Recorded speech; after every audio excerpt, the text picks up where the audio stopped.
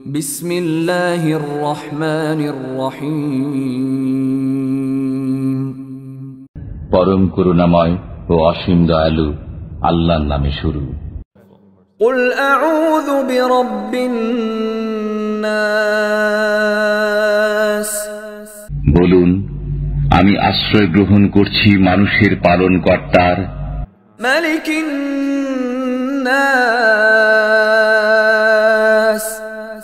মানুষের অধিপতির إله الناس মানুষের মাবুদের من شر الوسواس الخناس তার অনিষ্ট থেকে যে কুমন্ত্রণা দেয় ও আত্মগোপন করে الذي يوسوس في صدور الناس যে কুমন্ত্রণা দেয় মানুষের অন্তরে।